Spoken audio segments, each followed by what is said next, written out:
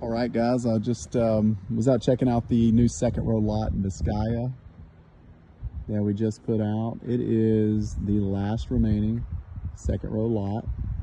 Um, there is a Gulffront lot in the community that is yet to be built on, but um, thought I'd just give you a little walking tour. Leaving the lot, we'll head to the east and uh, show you the beach access. Love the style of this community. Um, it kind of really stands out on 30A. People know it. We're on the west end down toward Dune Allen. It's a gated Gulf front.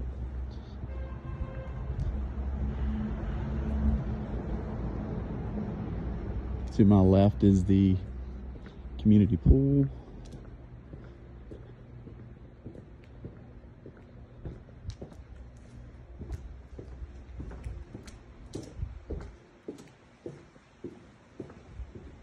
And I will take you up the stairs here to show you what the beachfront looks like.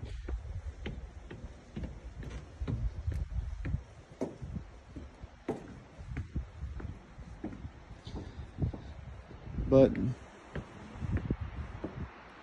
just wanted to show you all in all probably a two minute walk and just an amazing day today.